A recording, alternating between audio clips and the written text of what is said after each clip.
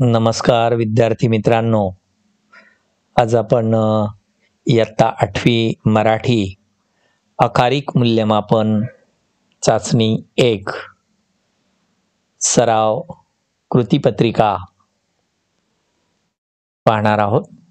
तर विद्यार्थी मित्रांनो आपल्याला अकारिक मूल्यमापन घटक चाचणी क्रमांक एक ही जी कृतीपत्रिका आहे ती आपल्याला आज सोडवायची. कारण आपण तिचा जर सराव केला तर आपल्याला पुढचे जे प्रथम सत्र असेल अथवा द्वितीय सत्र असेल किंवा आकारिक मूल्यमापन चाचणी दोन असेल ही सोडवण्याच्या कामी आपल्याला खूप या ऑनलाईन लेक्चरची मदत होणार आहे. तर आपण शेवटपर्यंत पहा आणि सराव करूया. चला आपण सुरुवातीला इथे विद्यार्थ्याचं नाव आहे ते विद्यार्थ्याचं नाव लिहायचं आहे यानंतर विद्यार्थी मित्रांनो आपल्याला इयत्ता आठवी तुकडी समोर तुकडी असेल तर तुकडी टाकायची. वेळ यासाठी एक तासाचा असेल.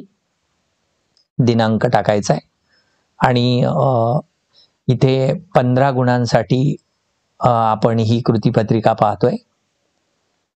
तर चला पाहूया. प्रश्न पहिला आहे. इथे एक दिलेला आहे. खालील कृती उतार्याच्या आधारे पूर्ण करा. सर्वात प्रथम इथे हे उत्तर पाहू नका विद्यार्थी मित्रांनो जे लिहिलेलं आहे ते. तर सर्वात अगोदर आपल्याला उत्तरा वाचणं सर्वात महत्वाचं आहे. एकदा पंडित जवाहरलाल नेहरू निवडणुकीच्या दौऱ्यावर होते. लोकांनी त्यांची गाडी अडवली आणि भारत माता की जय असा गगनभेदी घोष त्यांनी केला. पंडित नेहरू खाली उतरले आणि भारत माता की जय म्हणजे काय? ते विचारू लागले. चर्चा करत करत भारत माता म्हणजे भारतातले सर्व लोक. ही गोष्ट त्यांनी लोकांना समजावली.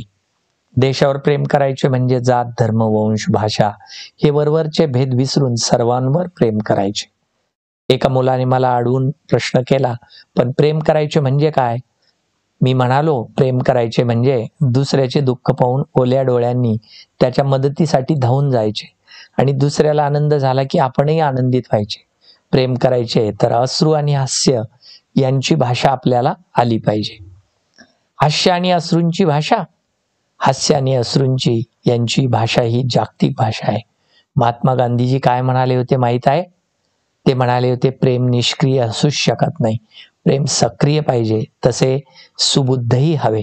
हा उतार आहे यावरून कृती सोडवायच्यात आपल्याला. ही पहिली कृती दिलेली आहे विद्यार्थी मित्रांनो. देशावर प्रेम करायचे म्हणजे हे वरवरचे भेद विसरून सर्वांवर प्रेम करावे. तर काय काय विसरायचंय? जात धर्म भाषा आणि वंश.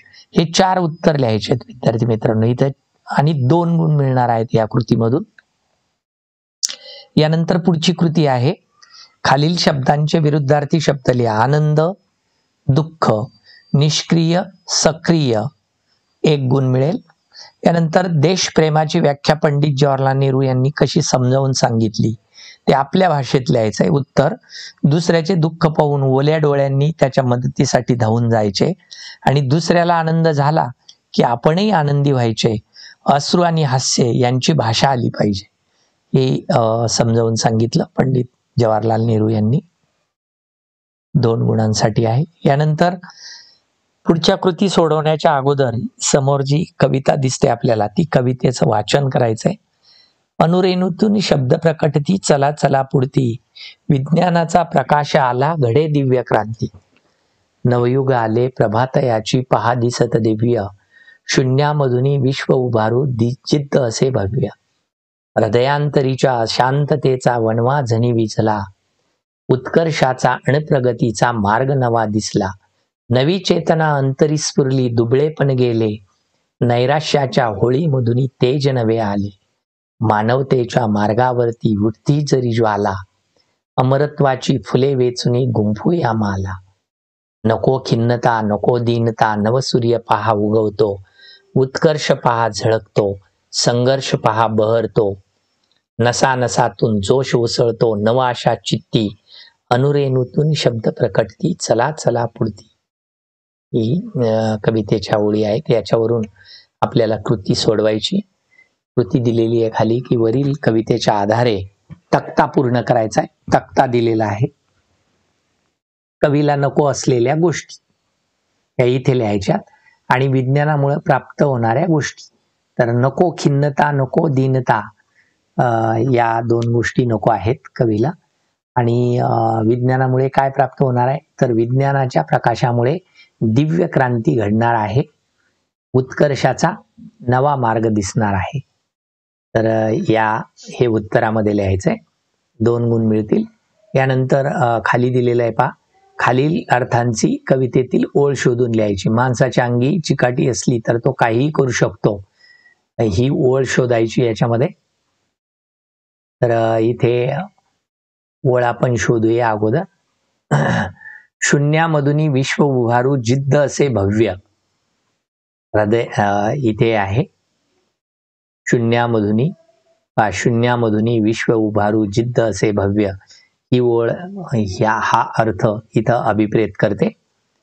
त्यानंतर तिसरी जी कृती आहे कवितेतून व्यक्त होणारा कवीचा आशावाद आपल्या शब्दामध्ये लिहायचा आहे. कुठला आशावाद कवीने व्यक्त केलेला आहे? तर नवी आशारूपी जोश उसळू द्या आपल्या स्वतःमध्ये. जर स्वतःमध्ये खिन्नता व दिन्नता नको आणि सतत सदैव पुढे पुढे चला हा नवा आशावाद कवीने प्रस्तुत कवितेमधून व्यक्त केलेला आहे. हे लिहायचंय. त्यानंतर कृती क्रमांक तीन आहे. खालील शब्दांचे विभक्ती प्रत्यय लिहून विभक्तीचं नाव लिहायचंय. फुलांचा हा शब्द दिलेला आहे. तर त्याचा विभक्ती प्रत्यय तो चा आणि विभक्ती येते चाचीचे म्हटल्यावर षष्टी. खाली आहे दोन नंबर आईने. यामधलं प्रत्यय येतो ने. मूळ शब्द आई आहे. ने येतो आणि ने ईशी तृतीयाची विभक्ती प्रत्यय आहे. यानंतर चौथी कृती आहे विद्यार्थी मित्रांनो. तीन गुणांसाठी की तुमच्या शाळेमध्ये दिवाळीच्या सुट्टीत हस्ताक्षर सुंदर करूया. हे दहा दिवसांचं शिबिर आयोजित केलेलं आहे. त्यात तुम्हाला सहभागी करून घेणारीची विनंती करणारं पत्र तुम्हाला लिहायचं आहे आधी ते पत्र लिहायचंय तुम्हाला विनंती पत्र. मग शाळेचं इथे सर्वात अगोदर दिनांक येईल. ईमेल स्वरूपाचं पत्रलेखन करा विद्यार्थी मित्रांनो जेणेकरून तुम्हाला नववी दहावीला सुद्धा ईमेल स्वरूपाचं पत्रलेखन करायचंय जे की आपण झालेलं आहे शिकवलेलं आहे. त्या पद्धतीने या बाजूने इथे पत्ता म्हणजे दिनांक येईल.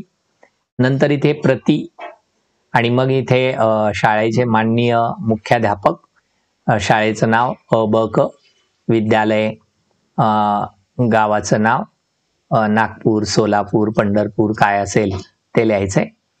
आणि मग इथे विषय लिहायचा आहे हस्ताक्षर स्पर्धेमध्ये सहभाग मिळणेबाबत आणि नंतर महोदय वरील विषयी विनंती करण्यात येते की आपण आपल्या शाळेमार्फत किंवा मीही आपल्या शाळेचा विद्यार्थी असून आपल्या शाळेमार्फत होणारं जे दहा दिवसांचं शिबिर आहे त्या शिबिरामध्ये मला सहभागी माझा सहभाग द्यावा किंवा माझं सहभागामध्ये नाव घ्यावं यासाठी विनंती करतोय. आणि त्या दहा दिवसामध्ये झालेला जो अभ्यासक्रम असेल वर्गामध्ये तो सुद्धा मी वेळीच पूर्ण करेल. तरी माननीय साहेबांनी माझ्या या विनंतीला विनंती अर्जाला मंजूर करून माझा सहभाग मला सहभागी करून घ्यावे ही विनंती. आणि मग इथे याच बाजूने आपला विश्वास असं लिहायचं.